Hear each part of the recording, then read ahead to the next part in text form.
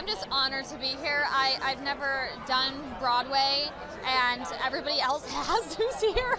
So I'm just like ecstatic that they invited me.